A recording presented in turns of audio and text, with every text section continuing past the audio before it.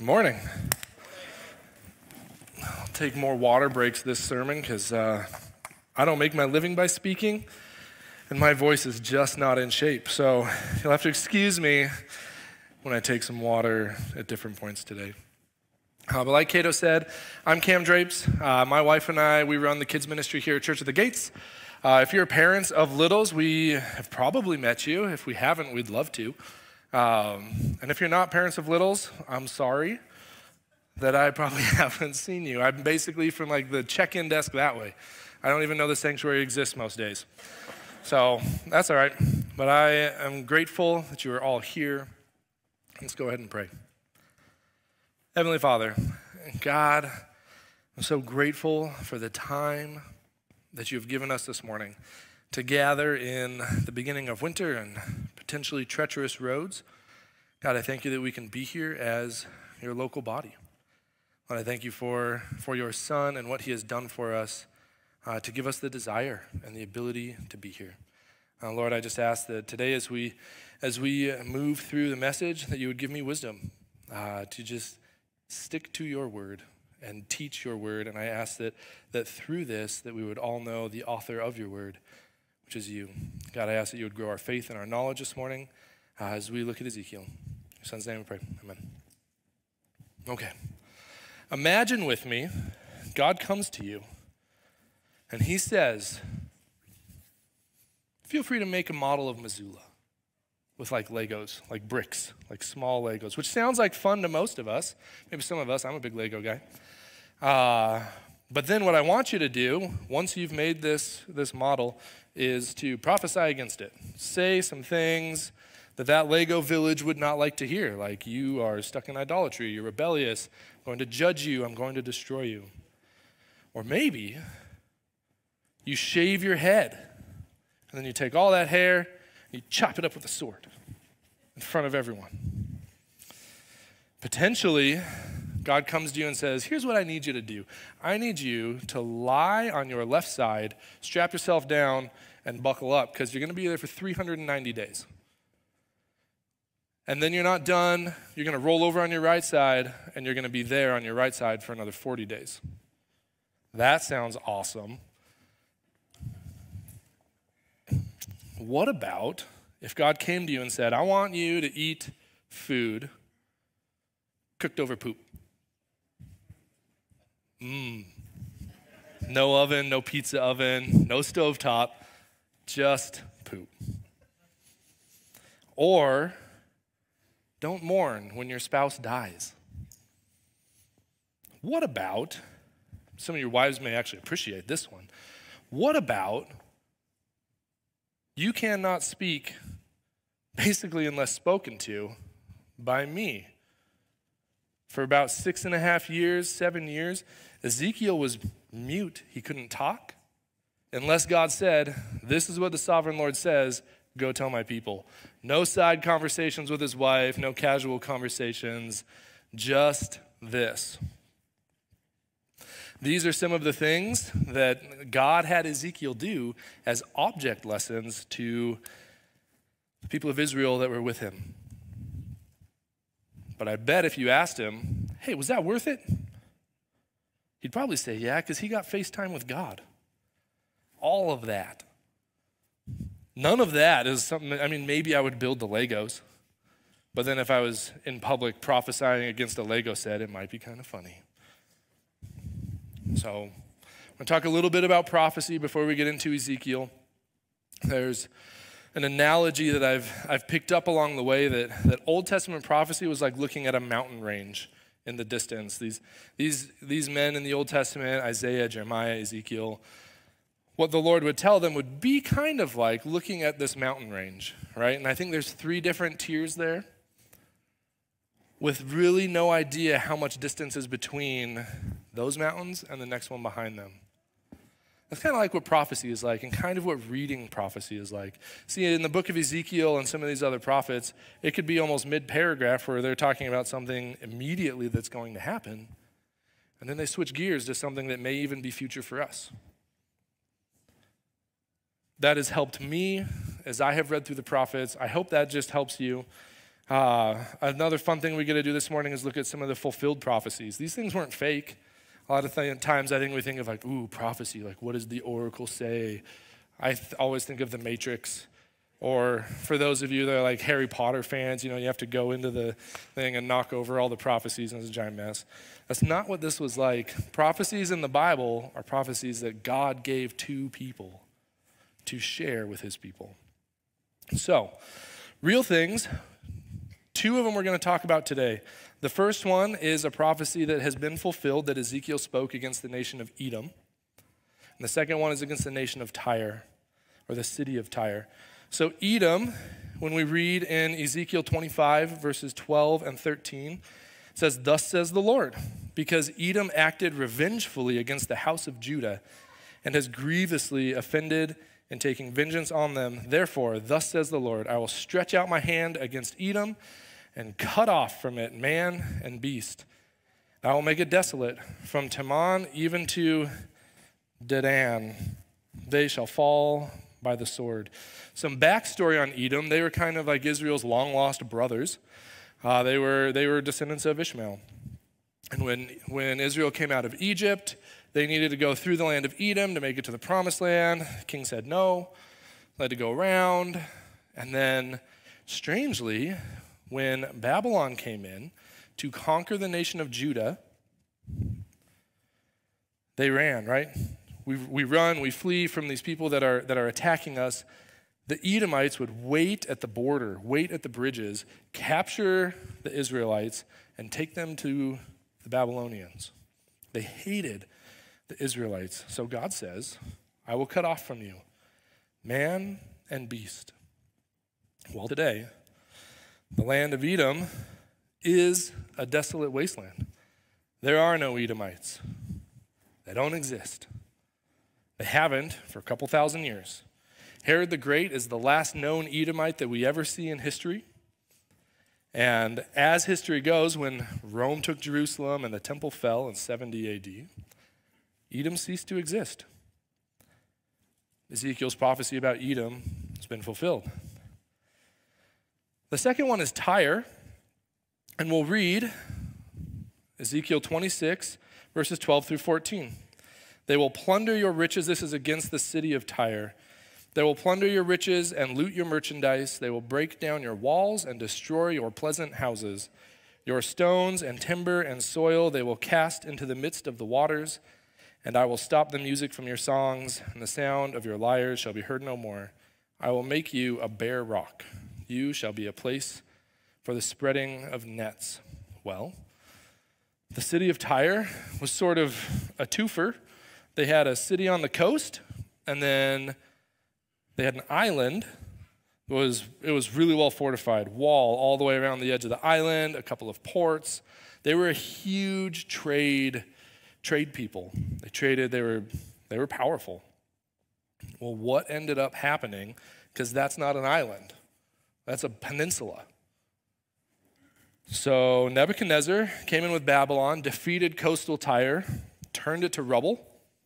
About 200 years later, Alexander the Great shows up, and he takes the rubble from coastal Tyre, just like Ezekiel said your stones, your timber, your soil, he takes all of that and he starts throwing it into the sea and makes his army a bridge out of the rubble of their other places. And they end up getting out to the island, conquering, conquering the island, defeating it.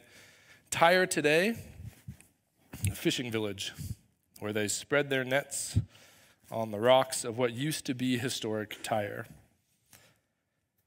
Another prophecy that we see in history has been fulfilled. And Tyre, while Ezekiel says it will never be rebuilt, clearly there are buildings there, but it's not a global power. It will never again be as powerful as it was in ancient times. So, a little bit of book information about Ezekiel. The author is the namesake, Ezekiel. He identifies himself in the first three verses, and we don't know when the book was finished or penned or you know finally penned. But Ezekiel prophesied in the, the country of Babylon for about 20 years, from 593 to 573 BC. And this is, this is important to know So, if we remember, the nation of Israel was split, right? There's the northern kingdom, 10 tribes there. There's the southern kingdom, two tribes. Assyria took care of the northern ones like 100 years ago. They came in, they conquered them. You would think the nation of Judah would have learned something from their other brothers. They did not. So, they are taken to Babylon. Ezekiel ends up there in the second deportation. So he goes with his king and some other folks uh, to Babylon, and he's actually there. He's a contemporary of Daniel. We all know the next book that's coming is Daniel. Uh, but Daniel would have he would have been a prophet in like the royal house, whereas Ezekiel would have been with the people of Judah, conquered still in Babylon. So that's a little bit of our setting. Uh, it's also important for us to know that the whole reason God's people are conquered and in captivity is a fulfillment of what God said he would do through Moses back in Deuteronomy. This is sort of Moses' last great sermon to the nation of Israel. And at the end of Deuteronomy in chapter 28, verses 63 and 64, Moses says, And as the Lord took delight in doing you good and multiplying you, so the Lord will take delight in bringing ruin upon you and destroying you. So Moses is switching gears. He's just got done telling them if you obey God's law, if you obey his commandments, if you do these things, you will be blessed.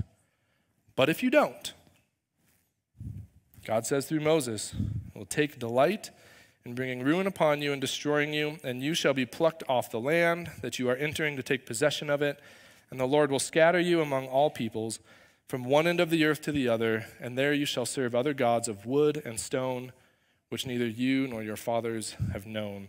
So that's where we find ourselves. The nation of Israel has fallen into idolatry. The smaller nation of Judah has fallen into idolatry. They've broken God's law, they've broken God's covenant, and God is doing to them as He said He would. But the purpose of Ezekiel is actually to give hope hope of a future restoration. So, the structure of Ezekiel, the first three chapters, it's basically this vision that Ezekiel gets of God's throne and glory and the call of Ezekiel to be a prophet. We have the next few chapters, about 20 of them, 4 through 24. They cover judgments against Judah. But the world doesn't escape from this. So, next seven chapters, 25 through 32, judgments on Gentile nations. But the last 15 chapters are chapters of hope hope of future restoration. God's people will not be conquered and in captivity forever. So, as we get into Ezekiel, I want to cover three things that bring hope. Three reasons for hope we can see of Ezekiel we have God's character, God's judgment, and God's promise. So, if we start with God's character, it's important for us to know God is different from us. And we're actually going to take a few minutes. I'm going to read this vision that Ezekiel has of God's throne, throne chariot, and his glory. It's basically the entire chapter 1.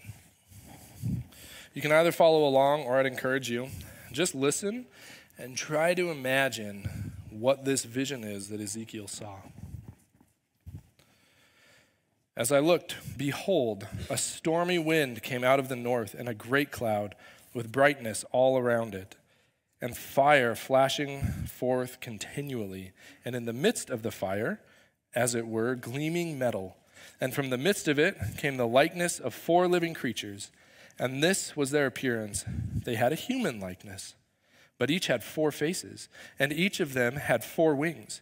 Their legs were straight, and the soles of their feet were like the sole of a calf's foot, and they sparkled like burnished bronze. Under their wings, on the four sides, they had human hands. And the four had their faces and their wings thus. Their wings touched one another. Each one of them went straight forward, without turning as they went. As for the likeness of their faces, each had a human face. The four had the face of a lion on the right side. the four had the face of an ox on the left side, and the four had the face of an eagle. Such were their faces, and their wings were spread out above. Each creature had two wings, each of which touched the wing of another, while two covered their bodies. And each went straight forward. Wherever the Spirit would go, they went, without turning as they went. As for the likeness of the living creatures, their appearance was like burning coals of fire, like the appearance of torches moving to and fro among the creatures, and the fire was bright and out of the fire went forth lightning, and the living creatures darted to and fro like the appearance of a flash of lightning.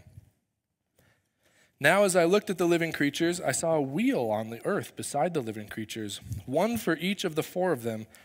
As for the appearance of the wheels and their construction, their appearance was like the gleaming of beryl. And the four had the same likeness, their appearance and construction being, as it were, a wheel within a wheel.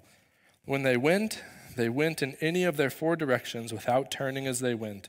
And their rims were tall and awesome, and the rims of all four were full of eyes all around.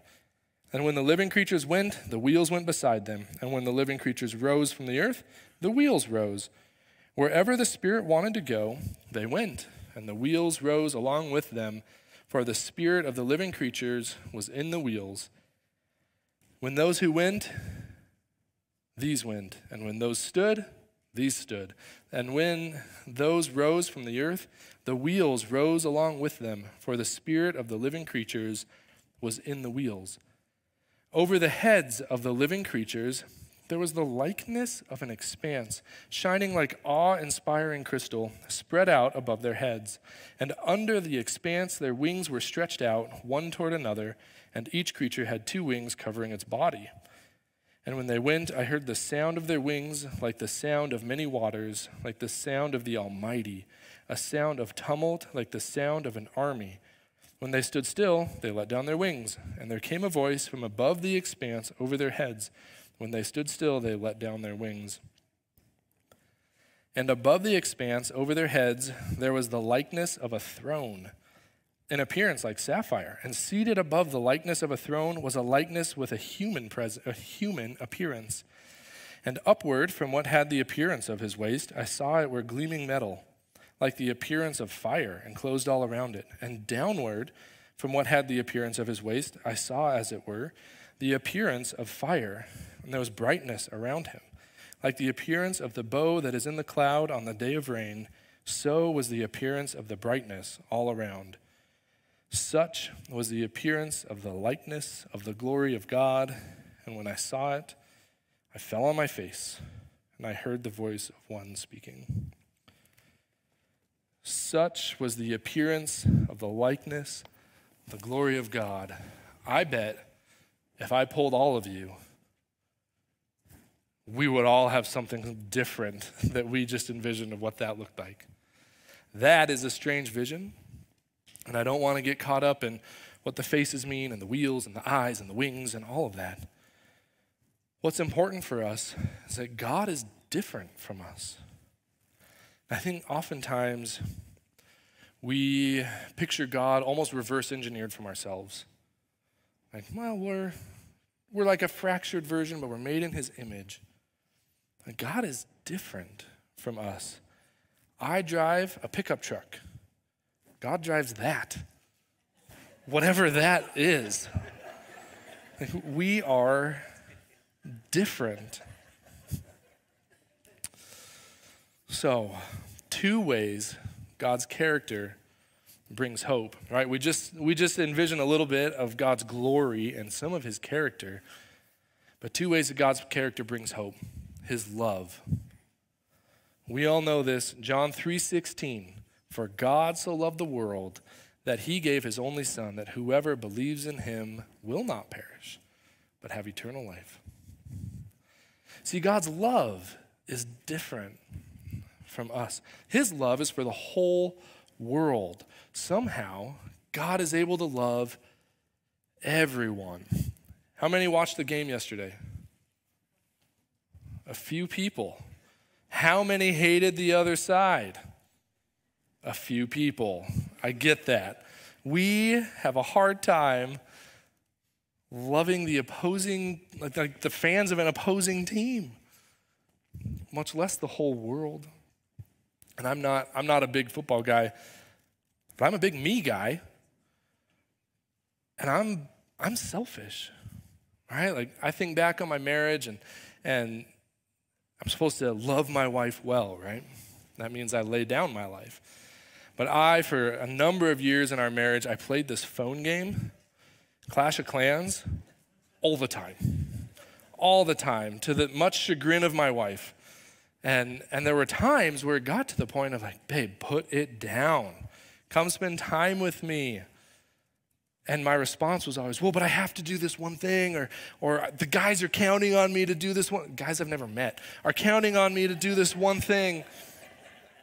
And it's like, man, did I fail to love my wife in that moment? Those many moments. But God is different from us. He has no problem loving everyone. It's never a second guess. The second way that God's character will bring us hope is his mercy. If we look at Luke chapter 6, verses 35 and 36, Luke said, well, Jesus says, but love your enemies and do good and lend, expecting nothing in return. And your reward will be great, and you will be sons of the Most High, for he is kind to the ungrateful and the evil. Be merciful, even as your Father is merciful. See, God has mercy for everyone, He is kind to everyone. It says right here, He's kind to the ungrateful and the evil. I am not. I don't want to be. My flesh wants to rise up when I see evil. I don't want to love them. But God loves. God is kind. I think of another personal story. You guys are getting a little bit of me here. So this week, I'm hanging out with my girls. I have a five year old and a two year old, and we're, we're eating lunch. And, and they have the world's greatest dino nugs because dad made them and we're hanging out, and I finish before my girls, and for whatever reason, they're taking forever. For those of you that have kids, it's impossible to keep them alive. They fight over sleep and food, which are two things kids need to live. And those are our biggest fights. So I finish way before them. Uh, but my kids, well, Finley, she grabs her plate, because I go to the couch. She grabs her plate, she comes over and sets it on the couch, and I get up to do something, right? I get up, and I knock her plate off, and it flips over, and we have the Lord's Chick fil A sauce on the carpet now, and we have ketchup on the carpet, and chicken nuggets. And my first response is, Finley, why would you put that there? And she's like, she's a feeler. And and I could tell in the moment, like, whoop, not good, Dad. And I, I came back to her and I was like, honey, I'm sorry. Like, I'm not really mad at you. It's no big deal. We'll clean it up. It's fine, right? All my daughter wanted was to come sit by her dad and eat her chicken nuggets. But I was not merciful in that situation. And Finley's not even my enemy. I love her. God has no problem being kind and merciful to everyone. So he is different, and we have great hope that he is different. I am grateful that I am not God and that his mercy is not based on my mercy.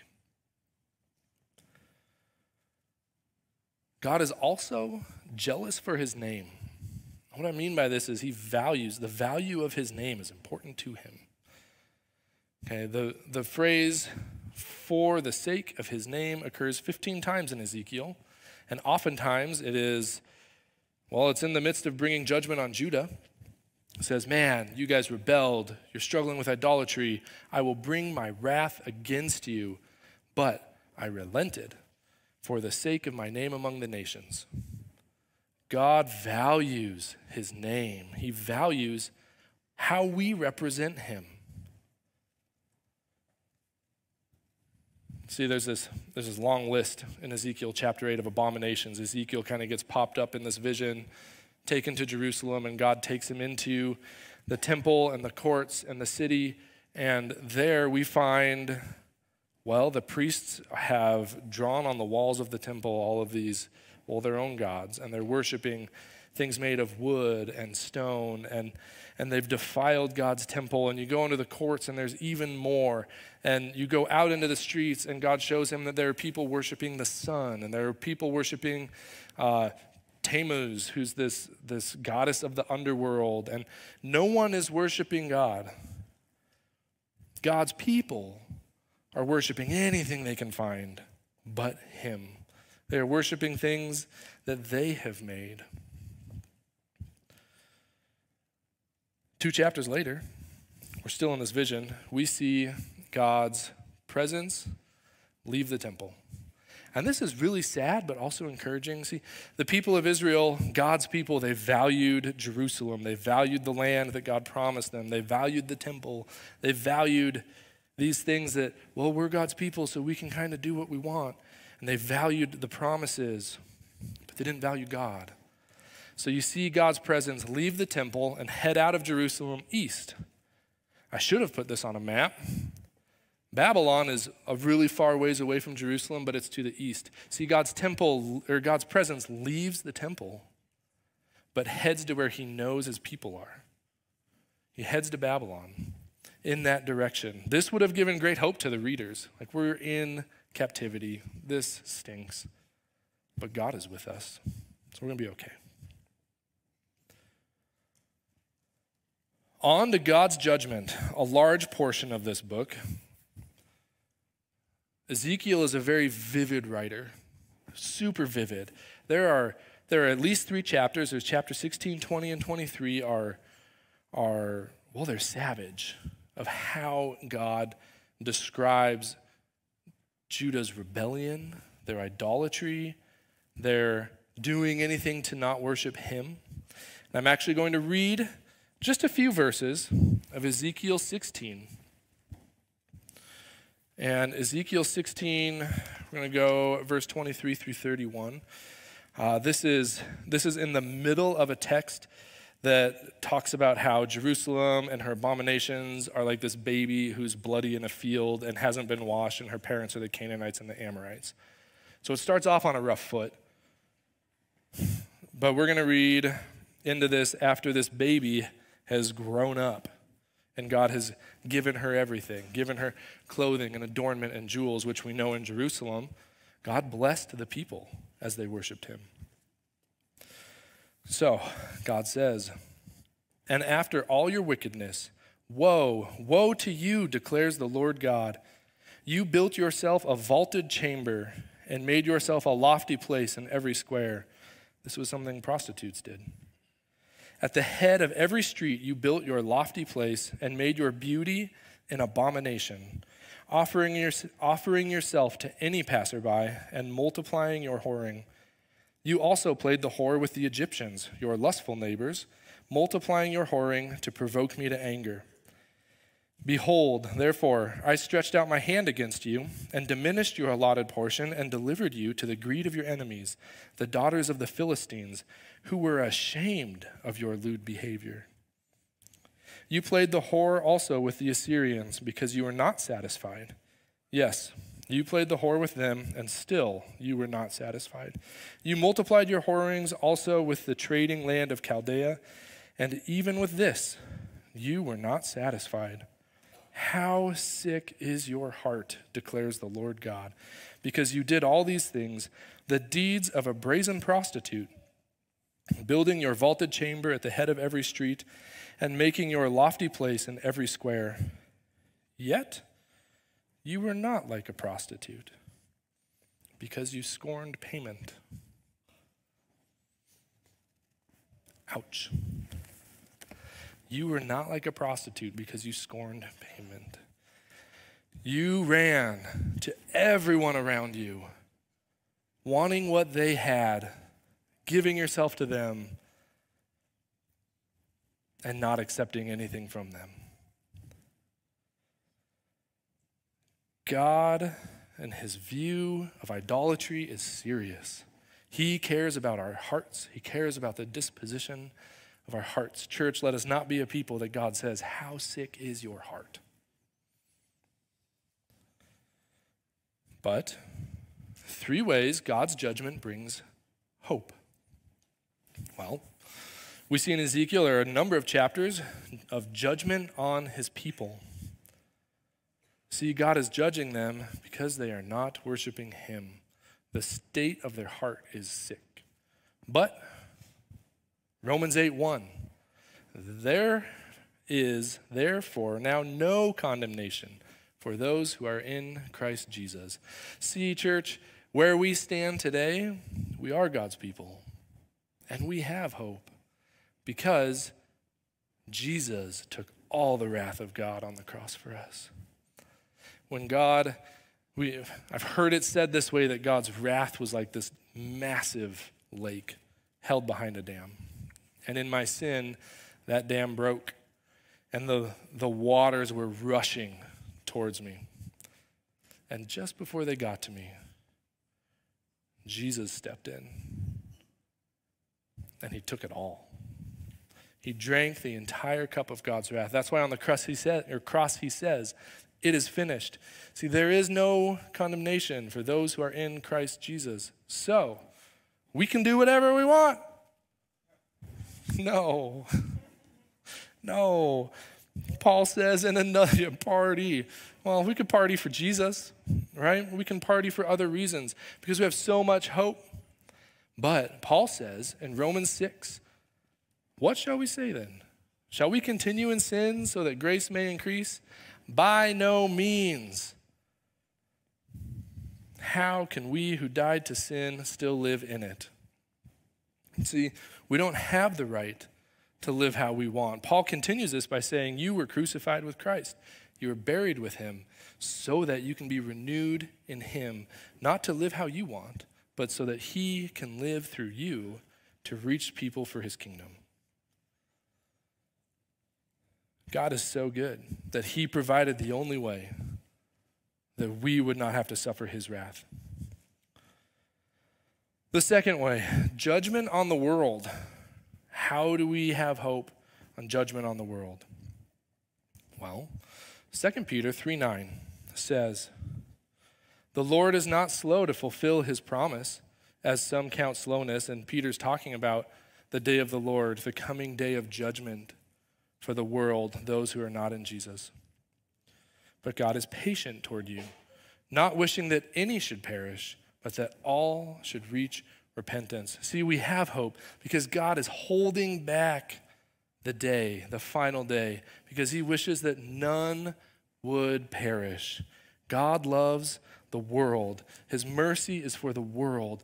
All we have to do is reach out, repent, and believe in Jesus.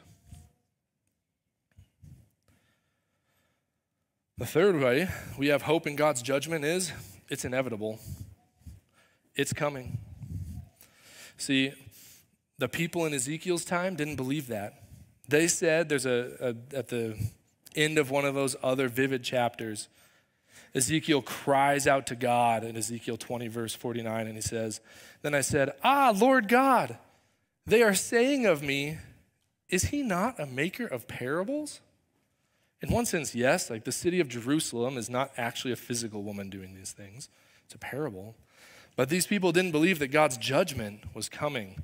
And we know through history that they were removed from their land, they were removed from their temple, they were removed from all of this. God's judgment came. His judgment is inevitable.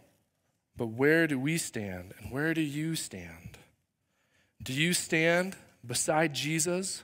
So that he can take God's wrath for you? Or do you stand with the Gentile nations hoping you can do it on your own? I can assure you, you cannot. However, if you stand with those Gentile nations, if you stand with people that have not yet trusted in Jesus, here's the hope for you. It's not too late. Right? Peter writes that God is patient and he's holding back. His judgment is coming, but he's holding it back. And I want to plead with you make today the day. Don't leave here without putting your faith in Jesus. This is real. And it's not too early. Don't put this off. All wrongs will receive justice. Paul talks that, that the wages of sin is death. And this is why I think this is so serious for us to consider. That death is not, well, we're just going to grow old and die. That will happen to all of us unless Jesus comes back. That, this death that Paul is talking about, the wages of sin, is a permanent death. That you are permanently separated from the God of the universe, the God that loves you, the God who sent his Son to save you and me. See, the only difference between me and you, if you're not a believer, is that Christ stands in the way of God's wrath on my life. Please consider that. So, the third way we have hope. The third way we have hope from the book of Ezekiel is God's promise. And this is so good. Ezekiel 36, 24 through 27, it talks about a new covenant, right? Is the nation of Israel, the nation of Judah, they've had a hard heart, refusing to worship God. But God says, I will take you from the nations and gather you from all the countries and bring you into your own land. So he's going to gather all of his people back. I will sprinkle clean water on you, and you shall be clean from all your uncleannesses. And from all your idols I will cleanse you. And I will give you a new heart, and a new spirit I will put within you. And I will remove the heart of stone from your flesh, and give you a heart of flesh. And I will put my spirit within you, and cause you to walk in my statutes, and be careful to obey my rules. This is good news. On this side of the cross, we know that Jesus has given us his spirit to dwell in us, to help us on this road of worshiping God and honoring him in all that we do. God is going to do the work. He's going to take out our stubbornness and give us his spirit.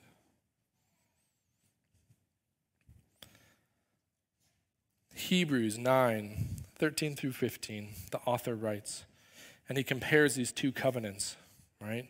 He compares the old covenant, the sacrificial system of, of sheep and cows and bulls, to the new covenant of Jesus.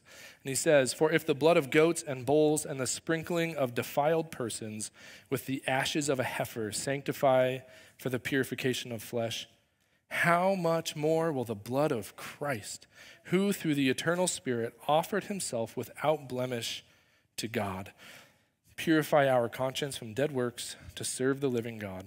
Therefore, because Jesus offered his blood as payment for us, therefore, he is the mediator of a new covenant, so that those who are called may receive the promised eternal inheritance, since a death has occurred that redeems them from the transgressions committed under the first covenant.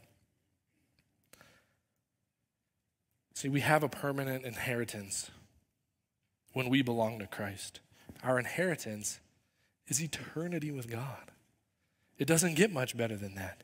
Because of what Jesus did, Jesus stands between me and you and God the Father, the Holy One, mediating between us. Where when we mess up, when we sin, and God's judgment is there, Jesus says, No, I got that. No, I got that. See, this new covenant is God's people are covered under the blood of Christ shed on the cross. And, church, I want to end with this. We don't have to wait for hope. See, right now we live in this already and not yet. We have already been saved from the consequences of our sin through Jesus. We can already know God. And yet, we still struggle, right? We still struggle but there's coming a day when Jesus is making everything new. Our hope is in Him. We will be made new. We will be glorified in the future, but we also have hope now. Our hope is in Jesus. So, what does this mean? What does this mean for, for those who, who are fighting cancer? This means that Jesus is making all things new. There will be a day where you will not struggle with that anymore. You will have a glorified body. What does this mean for those who are in difficult marriage? God's love and his mercy are there for you in Jesus. He wants to wrap his arms around you and love you. What does this mean for those who have suffered injustice? Justice is coming. It will come. What does this mean for, for anyone who has not yet chosen Christ? It's not too late. It's not too late. I want to urge you consider a holy God who has provided his Son to make a way to him. And for us who are the body of Christ, what does this mean? Sin is serious. It is serious. The same God that hated sin in the Old Testament is still the same God today. Sin is serious. We repent for our sins. We run to God, knowing that He loves us, knowing that He's taking care of us. Let us not be a people whose heart is so sick. Let's pray. Heavenly Father, God, we love you. Thank you for this time today to dive into your word, to know you just a little bit more. And Lord, we thank you for your Son. We thank you for the new covenant, that we are covered under the blood of Christ, and we praise you for that. Thank you for what you have done for us. God, help us to live lives that are repentant, that chase after you, that long for a deeper relationship and a deeper faith and a deeper knowledge of you. Set it in our hearts today, Lord, that we would continually pursue you and live our lives in a way that is holy and pleasing to you. In your son's name, amen.